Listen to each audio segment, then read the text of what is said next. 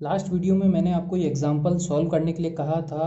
उम्मीद करता हूँ कि आपसे ये एग्ज़ाम्पल सॉल्व हो गया होगा। अगर ये एग्ज़ाम्पल आप सॉल्व नहीं कर पाए हैं तो इस वीडियो में मैं आपको स्टेप बाय स्टेप बताऊँगा। और मैं आपको ये भी बताऊँगा कि जब ऐसे क्वेश्चंस यूनिवर्सिटी एग्ज़ाम्स में आते हैं तो आपको किस तरीके से वहाँ पर लिखना है सॉल्व करना है, कैसा आपका प्रेजेंटेशन होना चाहिए, ये हम इस वीडियो में बात करेंगे। तो देखिए, ये ब्लॉक डायग्राम आपके पास है। आपको finally C S upon R S निकालना है। ये हमारा क्वेश्चन है। मतलब आपको ट्रांसफ़र फ़ंक्शन निकालना है इस ब्लॉक डायग्राम का। तो आप डायरेक्टली इसका ट्रांसफ़र फ़ंक्शन नहीं निकाल सकते हो। आपको पहले इसको रिड्यूस करना होगा। एक सिंपल फॉर्म में आपको रिड्यूस करना होगा ताकि आप इसका ट्रांसफ़र फ़ंक्शन निकाल सकें। किसी भी ब्लॉक डायग्राम को सॉल्व करने के तरीके अलग अलग हो सकते हैं। एक से ज़्यादा तरीके से ब्लॉक डायग्राम को सॉल्व किया जा सकता है। अब जैसा कि हम इस ब्लॉक डायग्राम में देखें तो हमको जो सबसे पहले जो स, पहला जो स्टेप है वो आपका ये होना चाहिए कि जो डायरेक्टली जो चीज़ सॉल्व हो रही है आप डायरेक्टली उसको सॉल्व कर लें। यहाँ पर अगर हम देखें तो हम इन दोनों को डायरेक्टली सॉल्व नहीं कर सकते हैं क्योंकि बीच में समिंग पॉइंट आ रहा है। यहाँ पर अगर हम देखें तो ये जो फीडबैक लूप है, इसको हम डायरेक्टली इसके साथ सॉल्व नहीं कर सकते हैं, क्योंकि बीच में कुछ और एलिमेंट्स भी हैं। लेकिन जब हम इसको देखते हैं तो यहाँ पर कोई बीच में एलिमेंट नहीं है, ये और ये ये दोनों डायरेक्टली अपना फीडबैक लूप बना रहे हैं। तो इसको हम डायरेक्टली पहले सॉल्व करते हैं। इस लूप का, इस इस पाथ का जो गेन है, वो वन है। यहाँ पर कोई एच ब्लॉक नहीं लगा है तो इसका गेन वन होगा। तो आप इसको फीडबैक एलिमिनेशन वाले रूल के साथ सॉल्व करेंगे। जब आप इसको सॉल्व करेंगे तो आपके पास ये सॉल्यूशन आएगा। जी टू अपॉन वन अब देखिए यहाँ पर साइन नेगेटिव है तो मतलब आप यहाँ पर प्लस लगाएँगे। फिर यहाँ पर आता है जी एस एच एस तो जी एस क्या है? जी टू है, और एच एस क्या है? वन है तो डॉट वन हो जाएगा। तो आपके पास हो जाएगा G two upon one plus G two तो इसको सॉल्व करने के बाद हम यहाँ पर एक सिंगल ब्लॉक लगाएँगे, और हमारा जो डायग्राम है वो कुछ इस तरीके का दिखने लगेगा। तो अभी आपका डायग्राम अब कुछ इस तरीके का बन गया। यहाँ से आपने फीडबैक को एलिमिनेट कर दिया और सिंगल ब्लॉक आपने यहाँ पर बना लिया। इसके बाद हम कैसे सॉल्व कर सकते हैं? देखिए, अब जो आपको सिंप्लीफाइड फॉर्म यहाँ पर नज़र आएगी तो आप ये कर सकते हो कि इस समिंग पॉइंट को इस ब्लॉक से पहले ले आए।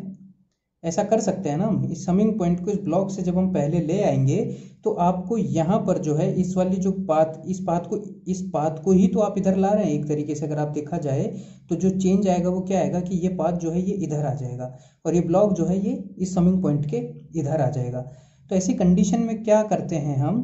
हम हमेशा इस पाथ में इस ब्लॉक का डिवाइड करते हैं। जैसा कि यहाँ पर मैं जो है, यहाँ पर डिवाइड करूँगा वन बाई जी वन से।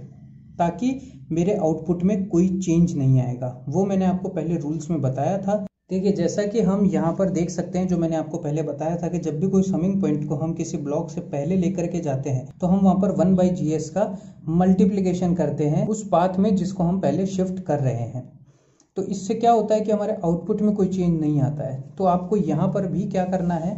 आपको यहाँ पर भी वन बाई जीवन से मल्टीप्लाई कर देना है इस पाथ के अंदर। तो ऐसा करने के बाद हमारे पास जो अब ब्लॉक डायग्राम बनेगा, वो कुछ ऐसा बन जाएगा कि जो जीवन है, वो तो इस समिंग पॉइंट के इधर आ ही जाएगा और यहाँ पर जो है, ये आप लिखेंगे जी थ्री अपॉन जीवन क्योंकि जीवन का वन अपॉन जीवन का मल्टीप्लाई आपने यहाँ पर कर दिया। अब हमारे पास कुछ इस तरीके का बन गया। तो अब हम यहाँ पर देखिए, इन दोनों को सीधा सीधा कैस्केड में सॉल्व कर सकते हैं मतलब इन दोनों के गेन को मल्टीप्लाई कर सकते हैं। ये चीज़ें अब आपके लिए आसान होनी चाहिए।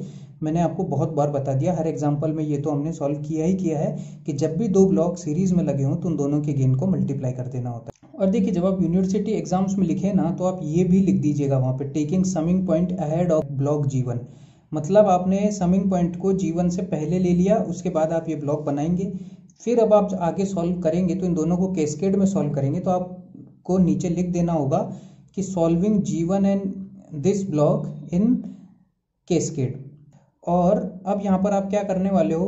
कि इन दोनों समिंग पॉइंट को इंटरचेंज भी करने वाले हो। इन दोनों को इंटरचेंज हम इसलिए करने वाले हैं क्योंकि ये जो फीडबैक लूप है, ये यहाँ से डायरेक्टली सॉल्व नहीं हो सकता है क्योंकि समिंग पॉइंट बीच में आ रहा है। तो इस समिंग पॉइंट को अगर हम किसी तरीके से यहाँ से एलिमिनेट कर दें तो ये वाला जो लूप है, ये यहाँ पर आ जाएगा और आप इसके साथ डायरेक्टली सॉल्व कर पाएँगे। तो सबसे पहले तो इनको केसकेड में जब हम सॉल्व करेंगे तो ये हमारे पास बनेगा G one dot G two upon one plus G two उसके बाद ये एच वन भी यहाँ पर आ जाएगा जब हम इन दोनों को इंटरचेंज कर देंगे। तो अभी वो नेक्स्ट डायग्राम में हम देखते हैं। देखिए, यहाँ पर आप देख सकते हैं कि ये वाला जो जो, ये वाला जो समिंग पॉइंट था, ये अब यहाँ पर आ चुका है। मतलब तो जो फीडबैक पाथ था वो यहाँ कनेक्ट हो जाएगा। अब यहाँ कनेक्ट होने के बाद इस इस, इसको आप डायरेक्टली सॉल्व कर सकते हैं। अब जब इसको हम डायरेक्टली सॉल्व कर सकते हैं तो हम कैसे सॉल्व करेंगे? G S upon one plus G S H S जब भी यहाँ पर नेगेटिव साइन होगा तो one plus G S H S तो देखिए जी एस हमारा क्या है? G one G two upon one plus G two upon one plus G one G two upon one plus G two dot H one तो अभी ये क्या बन जाएगा? जी वन जी टू ठीक है? One plus G two plus G one G two dot H one इस तरीके से हो जाएगा ये और ये कैंसिल आउट हो जाएँगे। तो आपके पास अब जो नया ब्लॉक बनेगा, इस पूरे की जगह एक सिंगल ब्लॉक बनेगा, वो आपका ये ब्लॉक बनेगा। अब देखिए, यहाँ पर क्या हुआ कि हमने समिंग पॉइंट को जब इधर ले आए तो ये समिंग पॉइंट जब इधर आ गया तो ये वाला कनेक्शन डायरेक्टली इस तरीके से हो रहा है। अब आप इसको कैसे सॉल्व करेंगे? तो देखिए, यहाँ पर जो ये फॉरवर्ड पाथ है, इसका गेन वन है। यहाँ पर जब कोई ब्लॉक कनेक्टेड नहीं है तो इसका गेन आप वन मानेंगे। अब इसको वन से डायरेक्टली आप सॉल्व कर सकते हैं ना। ये भी फॉरवर्ड पाथ है, ये भी फॉरवर्ड पाथ है। दोनों फॉरवर्ड पाथ है तो मतलब आप पैरेलल ब्लॉक्स की तरह सॉल्व करेंगे।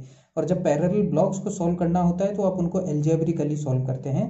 मतलब आप ऐसे सॉल्व करेंगे one plus G three upon G one तो ये बन जाएगा finally G one plus G three upon G one इसके बाद अब ये दोनों हट के एक ब्लॉक बन जाएगा, ये पूरा हट के एक ब्लॉक बन जाएगा।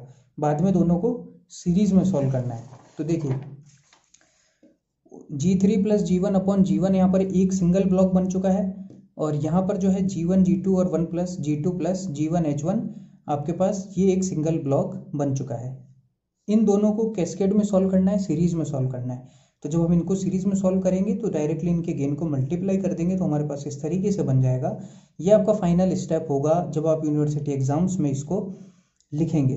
तो आपको सारी चीज़ें यहाँ पर लिखनी है। यहाँ पर भी आपको लिखना है solving these blocks in cascade ठीक है? उसके बाद आप यहाँ पर फाइनल जो लिखेंगे, वो आप ऐसे लिखेंगे C S upon R S क्योंकि आपसे C S upon R S का रेशियो पूछा गया था। C S upon R S का जो रेशियो है, वो यही गेन होता है।